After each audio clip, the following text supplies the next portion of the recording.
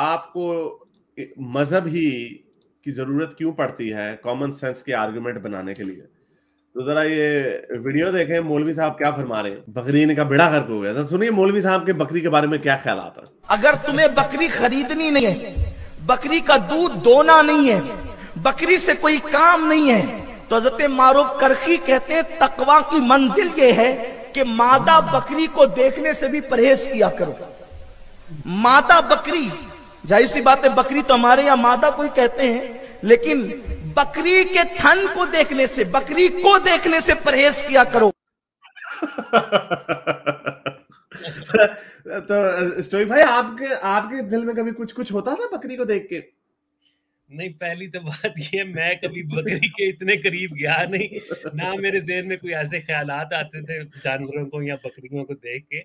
लेकिन आरिफ ये अब देखे ना क्या ये ये माइंड की वो कौन सी करप्शन का लेवल है कि इन, इतना इनको खतरा है कि इनको लगता है कि इनको स्पार्किंग शुरू हो जाएगी बकरी के स्पार्किंग का असल में मसला ये असल में हमारे ये ये ये ये वही वाली स्पार्किंग का मसला चले जरा वो भी दिखाई देते हैं।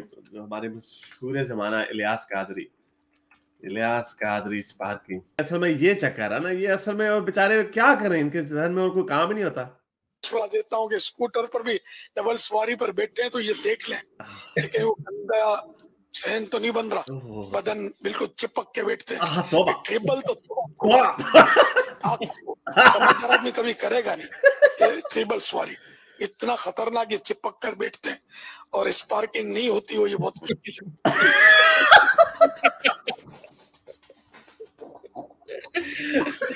नहीं होती हो स्पार्किंग। अच्छा चले आपने आपके स्टोरी में आपके कभी बकरी के बारे में तो नहीं ख्याल आया लेकिन ट्रिपलिंग की है कभी आपने?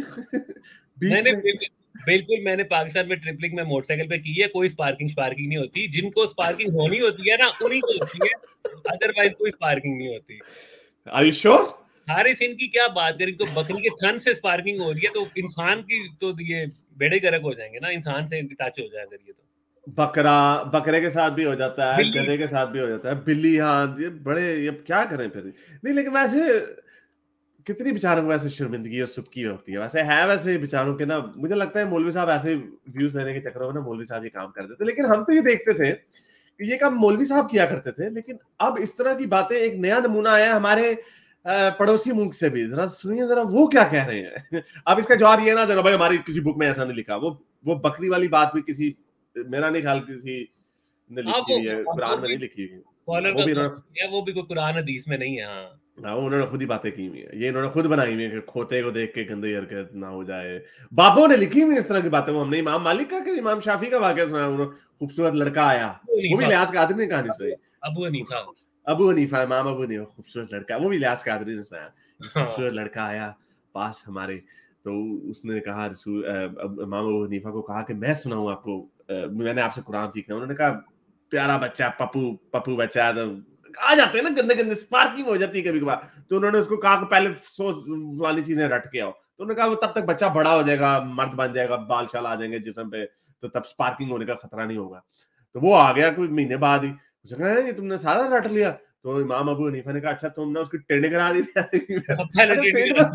टेंड तो उस काम करने के बाद नहीं कराते। तो उन्होंने उसकी टेंड करा दी और उसको बिठा दिया पिलर के पीछे ताकि अबू हनीफा की नज़र ना पड़े और फिर उसको कुरान सिखाया करते थे। तो ये तो ये बाबों की चीज़ें लिखी हुई पता नहीं इमाम अबू हनीफा के साथ ये काम हुआ है या नहीं हुआ लेकिन ये ये भी इलियास कादिर ने कहानी लेकिन अब हमारे हिंदू भाई क्या कह रहे हैं? सुनिए जरा। ये क्या फरमा रहे और अकेले में अपनी बहन के साथ भी नहीं रहना चाहिए। अकेले में एकांत में एक ही कमरे में। ये सारी माँ बेचारी बहनें बैठी हुई हैं। इनके जहन में क्या चल रहा होगा? हाँ मैंने अपने भैया के साथ नहीं बैठ रहा अपने बाप के साथ नहीं बैठ रहा what what is this going on की कमरे में अकेले माँ के साथ जवान बेटा। ओहो। जवान बेटा अपनी माँ के साथ अकेले में ना रहे। तो बात तो जवान भाई अपनी जवान बहन के साथ अकेले में चाहिए। तो ये अब यहाँ से भी ये देखें इस तरह की चीज़ें आना शुरू हो जाती हैं। तो अब फिर बंदा क्या कहे? ये लोग असल में रिलीजन जो भी हो ना रिलीजन का क्लेम ये होता कि वो बड़ा इंट्रूसिव किस्म की आइडियोलॉजी होती है। जो चीज़ आपको कहती है कि आपने बैठना उठना कैसे है आपने बाथरूम में कैसे जाना है आपने हर चीज़ के अंदर मदाखलत करती है तो उसका फिर यही नतीजा निकलेगा कि फिर वो आपकी हर चीज़ के अंदर दखल अंदाजी करेंगे। अब ये पता नहीं इनकी क्या उनसी फ्रस्ट्रेशन है और ये जितना सेग्रीगेट करते हैं ना मज़े की बात है उतना ही ये काम उल्टा होता है। और और ये इसीलिए ये वीडियो में बड़ी दफ़ा ये पाकिस्तान में चला चुका हूँ और आई एम श्योर कि ये हर जगह पे, बाकी जगहों पे भी ऐसे ही हो। इंडिया में जितनी सेग्रीगेटेड सोसाइटी है, वहाँ पे इसी तरह ही होता है। पाकिस्तान में, और ये सबसे बदशकल बात है ग्रुप है, हमारा एनजीओ होता था war against rape W A R उन्होंने बताई स्टेटिस्टिक्स और ये इशू जब टैकल करेंगे पाकिस्तान में, इससे आपकी एक रेवोल्यूशन भी आएगी एवोल्यूशन भी आएगी रेजिस्टेंस भी आएगी। गायनेकोलॉजिस्ट से पूछा जाता है, बच्चियों से पूछा जाता है कि रेप किसने किया? 82 परसेंट परपेट्रेटर्स वालिद चाचा, ताया, दादा, नाना, मामू। फूफा उसके बाद आते हैं, ये लोग। भाई जब बच्ची आती हैं गायनेकोलॉजिस्ट के पास वालदा उनको लेके आती है, ये नहीं कि पुलिस लेके जाए थाने की मेरी बच्ची का रेप हुआ कहती नहीं जी बात वालिद देखी है तो अब मैं अपने खावन को तो नहीं छोड़ सकती। तो क्या करती है, वो उसके अबॉर्शन करा देती है और फिर कहती है, जी, मेरे वालिद तो मेरा दुपट्टा नहीं उतारा। मैं इस पर तीन साल मैंने इस पर काम किया है और ये इतना बदशकल फैसेट है इस सोसाइटी का। मैं बार बार सोसाइटी की बात कर रही हूँ। लोग कहते दरिंदगी है दरिंदगी नहीं है ये इंसान ही करते हैं। दरिंदे तो ऐसे नहीं करते नहीं करते। तो ये मैं कह रही हूँ कि जो रूट कॉजेज है ना इस पे अगर कभी हमने बात की तो मसला खत्म हो जाएगा। लेकिन कोई बात नहीं करता इस पे तो ये जितना मर्ज़ी सेग्रीगेट कर लें ये सोसाइटीज को जितना सेग्रीगेट करते हैं उसके अंदर फिर क्या अब यानी बात यहाँ तक पहुँच जाती है कि बाप भी ना अकेला बैठे अपनी बेटी के साथ तब भी और ये इतने चरिंदे जानवर इनको बना देते हैं लोग। तो उसका नतीजा यही निकलना।